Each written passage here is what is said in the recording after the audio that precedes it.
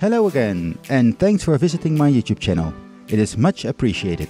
In this post I'm going to test the low Bollinger Band trading strategy that you can find on the Freqtrade GitHub repository with algorithmic trading strategies. So let's find out how this algo will make us hypothetically very rich.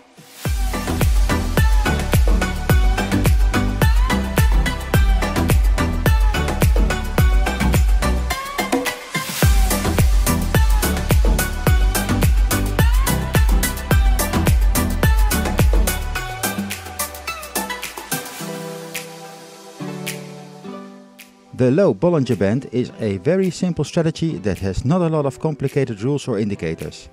It only uses the low Bollinger Band for a buy signal. But before I tell you too much right away, let's first give credits where credits are due.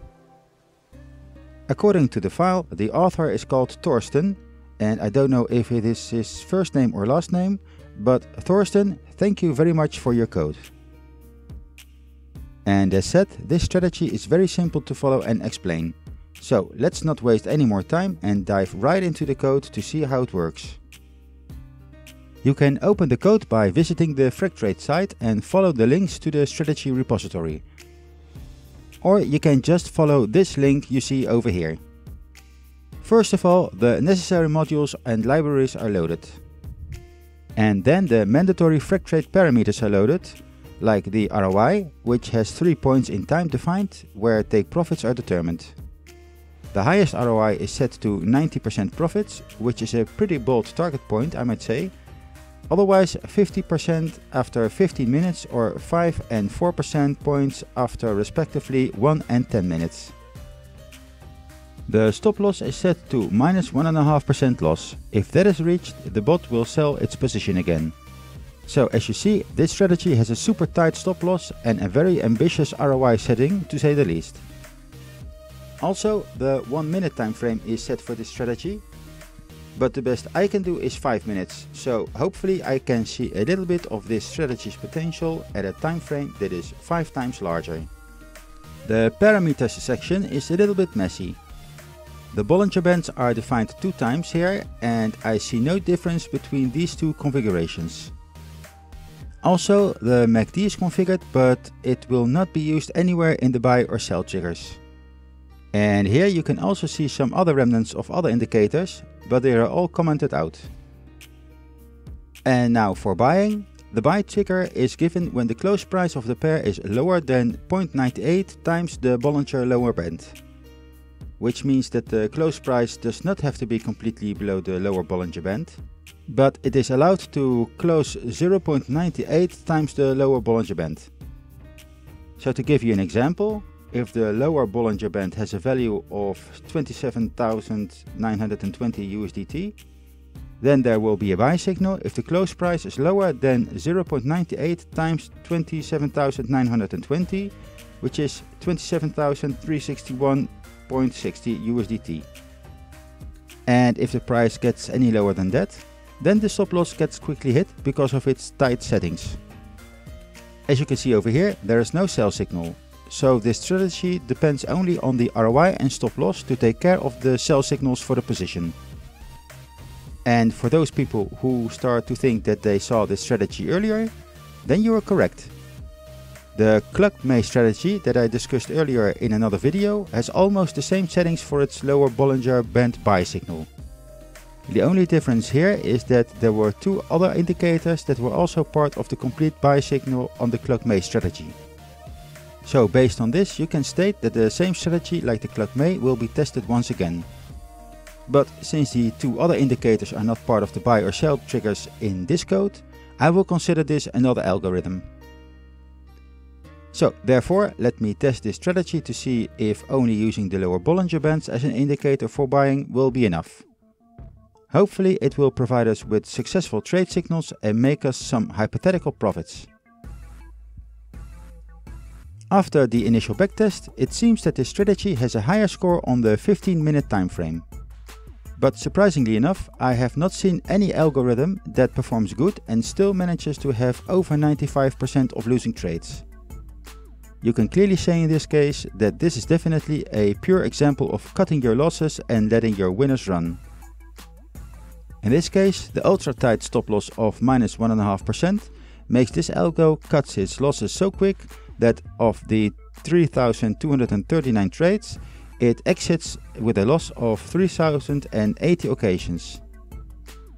But the ROI still manages to make good money on 151 trades though.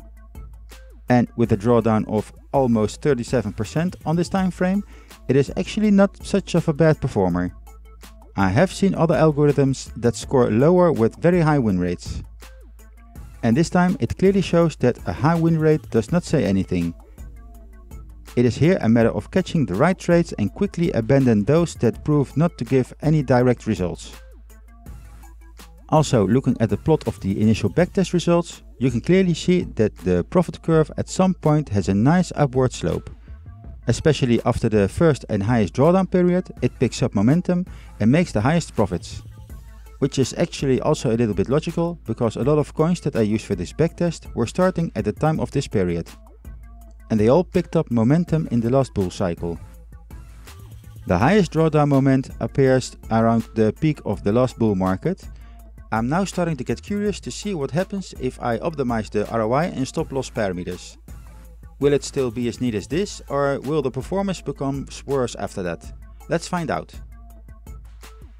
So, after optimizing the ROI and stop loss parameters, I got some totally different ROI and stop loss settings. And by the way, you can find these in the complete output package I leave behind for my Patreons, by the way. And as you can see, yes, lucky me, the 15 minute time frame is manageable by my PC. So fairly quick calculations in this case. Now let's hope that these newer settings makes the strategy performance better. And in a certain way, the lower Bollinger Band strategy does manage to improve some of its ratios with the newer ROI and stop loss settings. However, what it improves on the win rate, drawdown and Sharpe ratio, it mainly loses in profitability and the hypothetical end amount of money you could make in the past. Looking at the buy and sell events of the backtest, we see that the stop loss and ROI exit signals have a rough 3 to 1 ratio, which means that for every win there will be a little bit more of 2 losses. Also, every winning trade has an average profit of slightly less than 6%, while the stop loss loses around 2%. In the original strategy settings, these were quite different. Every win was around 50% and every loss around 1.5%. So a big difference here. The plot of the optimized settings show a totally different picture. The profit plot shows a nice and steady upward line and only has the largest drawdown in the late period of 2022. Overall, these lines are much smoother in comparison with the original line. Also, the drawdown chart was at around 18% at its largest, and it shows that this strategy is negatively influenced by the bearish period. But my observation is that the drawdown relatively quickly gets negated and then starts to stay around the zero line, which is always a nice feeling by the way. Finally, I noticed that the parallelism graph has less black than in the initial graph. And according to the results, the amount of pairs that reacts positively on this algorithm is also around 60%, just like the initial one. But it seems that the boss has less active open trades. Now, because both results have a score of 195%, I have to make a choice on which version should enter the strategy league. And again, I have to be the deciding factor that determines the final outcome.